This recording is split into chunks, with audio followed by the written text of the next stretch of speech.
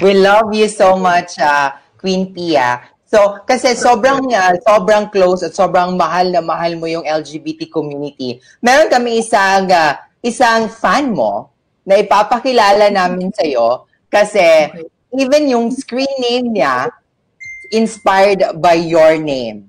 So malaki Ay, oh. talaga ang inspiration na kinuha niya sa iyo. So now let's welcome ang Queen Pia Paulo ng Paulo. Butuan. Pia works back of the universe. Pia Paulo, pasok! Queen Talk! Ay! Ay, may pa-effect. Ay! Ay! Ano? Maayong tabi sa inyong tanan. Gikan sa dakpayan sa butuan, niya karon sa inyong atubangan. Ang rayna nga napuno sa gabulahan, kaawas-awas ang kahugyawan, kagulak gilak sa kaanyagan. My name is not Pia Alonzo nor Liza Soberano, but my name is Queen Pia Paulo. Hello, Queen Pia Paulo. Nice ka! Nice ka! Nice ka, dali. Nice tayo. Okay. Formal. Oh, gagaling! Gagaling mo. Nakaka-proud. okay, hi Pia. Hello. To introduce myself, my real name is Paulo Kristen Chanweco. I'm from Butuan City. Hi. I am known as Queen Pia Paula in social media. And ikaw yung inspirasyon. Ano pangalan ko actually? Thank you so much. Maraming salamat. Uh, Focus mamaya sa Instagram. Okay, ang um, Pia, aware ka naman siguro sa segment natin, di ba? Yes. Yes, it's the Queen Pia meets Queen Pia Paolo or Queen Pia Butuan meets the Queen Pia of the universe. So, nag-post yung page namin, yung Mindanao Pride, no, ng poster natin and we give chance to the people to ask you questions. And then the team, um, nag-choose kami ng lima na pwede itanong sa'yo. What okay. the twist is, may twist tayo. Before you answer the question, since this is Mindanao Pride and alam namin taga Mindanao ka, taga CDO ka, namimiss ka ng mga tao, pwede mo ba siyang sagutin in Bisaya? Ay, sa Bisaya? Yeah. Um, Ala, andong na ba? Pero, Naku, hindi ako ready. O, sige, try. Try ko na, sige, pero parang hindi okay. tayo okay lang Tagalog. Yeah, sure, yeah, sure. Sige. Okay. Let's go. Queen Pia, andam na ba ka? Okay. Ano, ano yun? andam na ba ka? Ah, uh, ready na. Ang pangutana. Okay, first question. This is from Jay Bofel. Shout out to my office mate. With all the negativities happening around the world, how can you encourage people to still be optimistic? Uh, Daghan kay kadin na sa tanan mundo ang akong um, advice para sa mga tao ay um, hindi ko mag Okay, uh, ang aking advice, okay, uh, explain ko muna kung bakit di ako marunong magbisaya masyado. Kasi baka sabihin mga tao, taga Mindanao hindi ka marunong. Dati magaling ako, magaling talaga ako dati, Corpus Christi ako, magaling ako magbisaya. Pero kasi, nung nag-artista na ako, sabi nila, naririnig daw nila yung Bisaya ako. So, parang sabi nila, kailangan ko mag-practice, kanyan. So, for many years, um, tinraining ko siya hanggang sa wala akong makausap ng Bisaya sa Manila. So, nawala. Alam mo yon Pero pagka naririnig ko kayo, naiintindihan kita. Anyway, o sige, mag-explain eh, no? Sorry. yes. Ang aking advice, para mag-stay positive, um, ay, nakatakot po yung stay positive. Para mag mag-stay positive.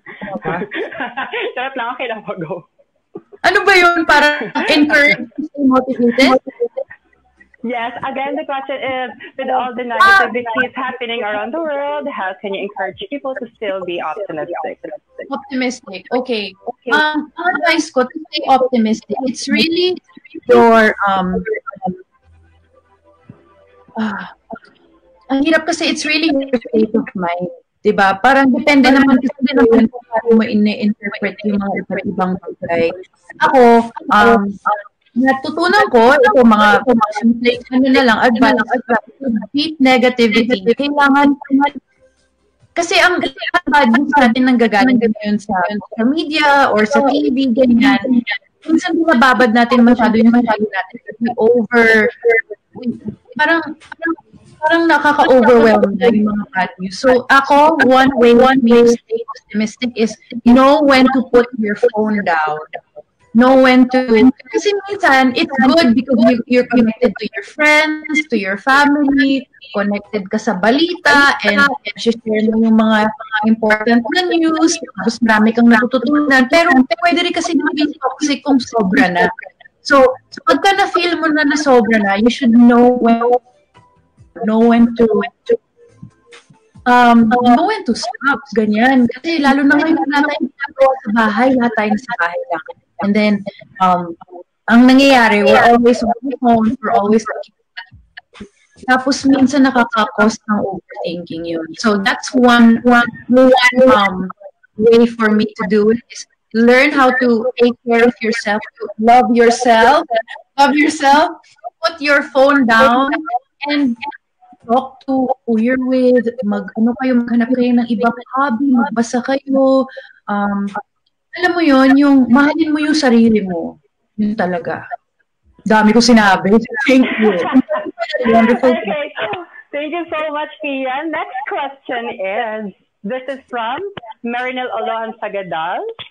So, hi, Pia. What can you say about trans women joining beauty pageants? I hope to hear your stand in this one.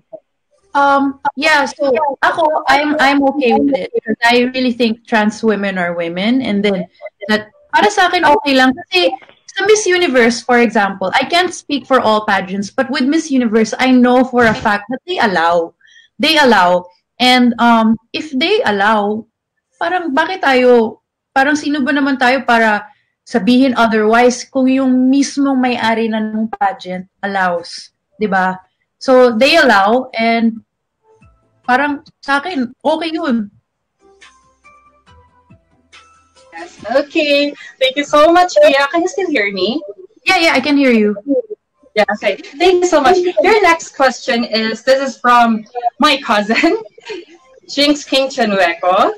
Um, if you are to continue pushing for HIV AIDS awareness in the Philippines, what would you do differently this time to further the cause aside from public testing and seminars? Any new and creative ideas for a campaign? Uh, actually, yes. Um, we're working on a lot of new campaigns with Love Yourself. I work very closely with them um, here in the Philippines. Actually, yung um, Oropia um, partner din yung Love Yourself at Cagayan Plus, of course, sa um, uh, testing center na yon.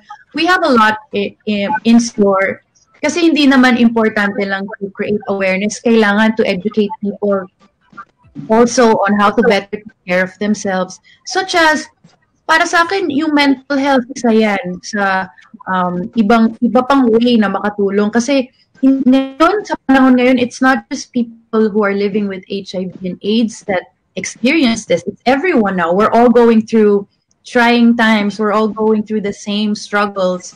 So, ano, um, para sa akin, isa yun sa mga projects ng Love Yourself na sobrang naglo-look forward ako. Kasi it's relatable to everyone now. Yeah. And um, that's um, something I want to talk more about in the near future. Yeah. Okay, thank you so much, Pio. Good. Grabe. Okay, next question. This is from Maki Vergad. Um, this is my friend. Sobrang fan mo din to. Um, Uy, hi, nga pala sa cousin mo kanina. Okay. Thank you. Okay, uh, hi, Pia. Can you please give a piece of advice for people who are still hiding in their closet for some reasons? Example, family or environmental factors. So I really think it's um sa'yo yan eh. It really depends on you. There's no right time. The right time depends on when you're ready. And hindi yan, you can compare to other people. No, o bakit siya, nakapag-ano siya, or bakit ito, ganyan. Parang, you can't compare. Each person has a different journey. And hindi, sa akin parang, nag-usap kami ni Tito Boy about this last week actually, about coming out. And yeah. meron siyang binigay sa akin advice that really um, stuck with me also na hindi naman necessary lahat ng tao kailangan mag-out. May mga Yes. tao na ayaw nila. 'Di ba? Ayaw nila and we also have to respect that. So iba-iba yung journey ng mga tao and kailangan lang natin respetuhin 'yun.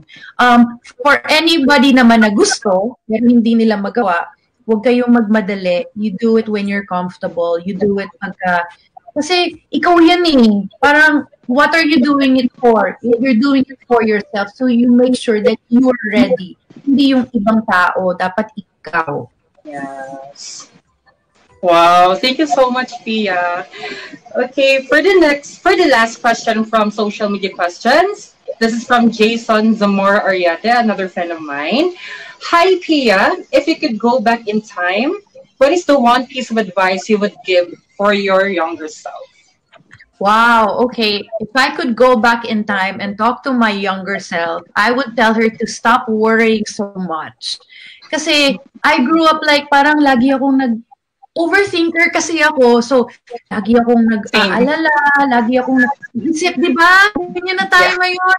True. Kaya nga tayo kambal eh. Ay, Di ba? Oh, oh. Kaya mga Queen Pia Paolo. true. Tapos ano, um, so yeah, that my younger self, I would tell her to worry less. Parang sasabihin ko sa kanya, alam mo, masyado ka nag-aalala, magiging okay rin ng lahat. Kung alam mo lang. 'Di ba? Kasi minsan lahat tayo overthinking talaga tayo pero sana maganda actually yun, yun ko siguro na huwag kang masyadong mag-worry, huwag kang masyadong mag-overthink, things are gonna be okay. Yes, wow. Grabe, thank you so much, Miss you. Okay, so, ang next part naman natin is fast talk. Oh, wow! Okay. okay, yeah. Andam na ba Ready. ka? Sabi mo? Andam. Andam is Andam? ready. Yes. Ah, andam. Andam, andam na, na ako. Andam na. Andam na ko. Andam na. Andam na. O, tinan mo, mali-mali na yung punto ko. Andam na ako. Alam mo, siguro ako ganyan din ako next time. Hindi na ako mag-Bisaya. Ay, wala. Charot lang. Alam mo, kailangan ko lang ng ano. Promise, pagka nagbisaya, kasi, kunyari, nasa, kunyari, um, kasama ko yung mga pinsan ko, tapos nagbibisaya sila sa harap ko. After like, one, a few days, na absorb ko lahat, parang, parang bumabalik lahat sa akin yung mga memories. Bumabalik sa akin yung mga salita. So, I just need to practice. Pero dati, sobrang ano mo naman yung Bisaya. Oo, oo, oo. Magaling ako dati talaga. As in, I promise. Tanong niyo pa yung mga pinsan ko. So, marunong talaga ako dati. Pero yun nga lang, kasi wala akong kausap eh. I feel you naman. Kahit sa office naman. dapat Wala akong makausap ulit. Bisaya. Invite niyo ako ulit para lagi ako may kausap. Sure ha? Oo, Ano, sige. screen recording to, my God. Oo naman. Oo, sige. Okay.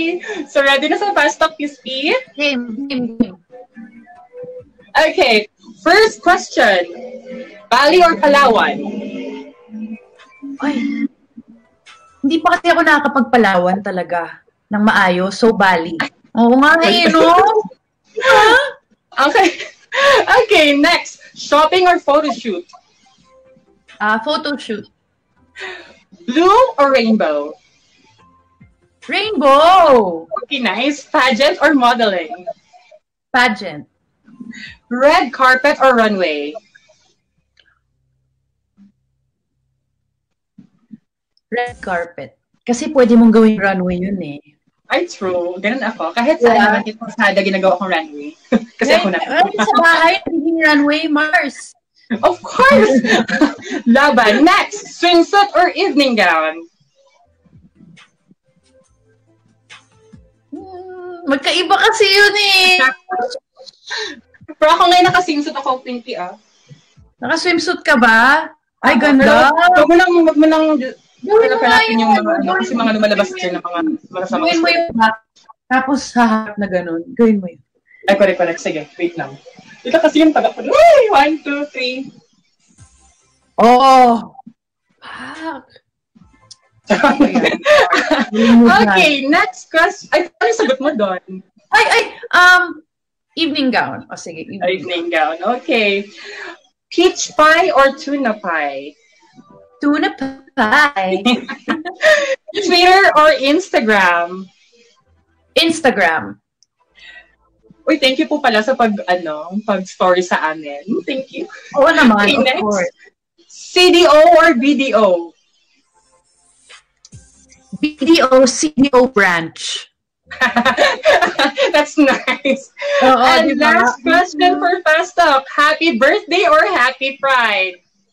Happy Pride! Wait, Happy pero ko ngayon. So, happy birthday sa kanya kay Charity. Happy birthday.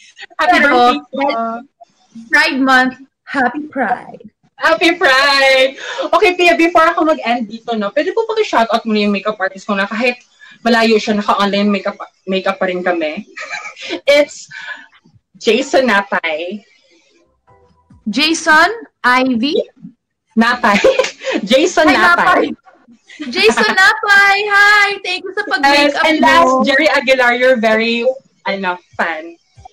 Jerry Aguilar, kumusta? Thank Hello, you. guys! And shoutout ko sa mama ko na nanood ngayon. Hi, ma. Ito na po ako ngayon. Charot lang. Parang si Tia tumakawa. Dalawa ng Hi, ma! Ito na po ako ngayon si Paolo.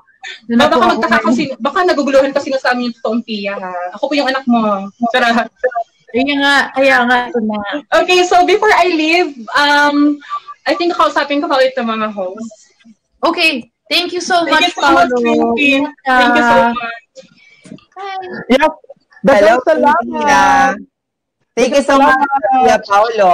We Oo. hope na grant ang imuhang wish. Thank you so much, Queen Pia, ha? Kaya mong gitagaag chance Thank you. si Pia Paulo. I'm sorry, Bisaya.